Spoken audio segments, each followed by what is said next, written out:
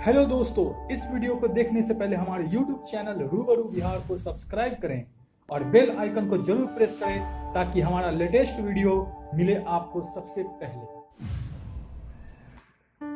बचपन से दुबली पतली एक लड़की अचानक अपने टीनेज में कदम रखते ही मोटी होने लगी। शरीर में अचानक से अजीब बदलाव आने लगे। उस लड़की का मज़ाक न सिर्फ़ बाहर वाले, बल्कि घर वाले भी उड़ाते थे।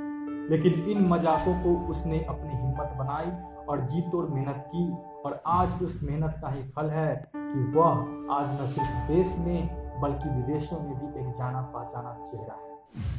तो दोस्तों, आज हम रूबरू बिहार में बात करेंगे बिहार के उस ब्रांड की, जिसने बॉडी बिल्डिंग के क्षेत्र में एक अलग पहचान बनाई और उसी के बदौलत आज वह देश की पहली महिला बॉडी बिल्डर भी है। मधु झा नाम की यह महिला आपको देखने में किसी भी महिला से काफ़ी अलग लगेगी। कद होंगी कुछ पाँच फुट छह इंच के करीब, लेकिन इनके मसल्स देखकर आप हैरान रह जाएँगे। तो आइए जानते हैं मधु झा के बारे में विस्तार से। बिहार के सुपौल ज़िले के श्रीपुर की रहने वाली मधु झा बचपन से काफ़ी दूरी पर थी, और टीनेज में कदम रखते ही वो काफ़ी उल्टा लगने लगी।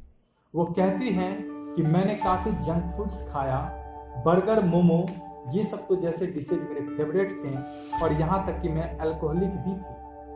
मधु कहती है कि कुछ सीढ़ियाँ चढ़ने मात्र ही मैं हाफने लगती थी और वज़न इतना बढ़ चुका था कि चलना फिरना मुहाल सा हो गया। वज़न बढ़कर पचासी किलो हो चुका था, जिसके कारण कई सारी बीमारियों ने भी जन्म ले लिया था, जैसे एसिडिटी पेट दर्द, सांस फूलना, वगैरह वगैरह। घर और बाहर के लोगों ने भी चिढ़ाना शुरू कर दिया था और मेरा भाई मुझे हाथी, मोटी कहकर चिढ़ाता आखिर उन्होंने उत्तम यादव के जिम में एडमिशन कराया, जहाँ से शुरू हुआ उनके सफल होने का सफ़र उत्तम ने उन्हें कहा कि वो बस उन्हें 20 दिनों का समय दे, इतने दिनों में सब ठीक हो जाएगा। शुरू में काफ़ी दिक्कत हुई, लेकिन ट्रेनर के भरपूर सहयोग से मैंने मेहनत करना शुरू किया और वही हुआ जैसा उन्होंने कहा था।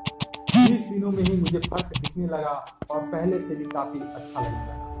मधु कहती है कि 20 दिनों के बाद एक नई ऊर्जा का संचार होने लगा, जहाँ पहले काफ़ी थक जाती थी, अब और मेहनत करने का जोश आने लगा। शुरू शुरू में काफ़ी दर्द होता था, जो अब मीठे दर्द में तब्दील हो चुका है। मैंने महिला बॉडी बिल्डर प्रतियोगिता में भाग लिया जहाँ मुझे छोटे कपड़े पहनने थे और समाज की लोक लाज ने मुझे बाँध रखा था। तब वो कहती हैं कि उनके कोच ने उन्हें हिम्मत दी और कहा कि यही तुम्हें हीरो या ज़ीरो बनाए।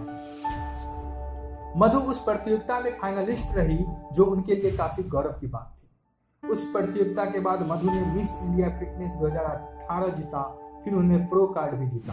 आपको बता दें कि प्रो कार्ड का मतलब होता है विश्व के किसी भी कोने में आप भारत का प्रतिनिधित्व कर सकते हैं। तो दोस्तों, ये थी हमारे बिहार की बेटी मधु झा, जिसने न सिर्फ़ अपने ज़िले, बल्कि पूरे बिहार और भारत का नाम रोशन अगर आपको ये वीडियो पसंद आया हो तो ज़रूर शेयर करें और हमारे YouTube चैनल रूबरू बिहार को सब्सक्राइब करें और बिहार के निष्पक्ष एवं ताज़ा खबरों के लिए हमारे वेबसाइट बिहारी डॉट न्यूज़ को विज़िट करें। शुक्रिया।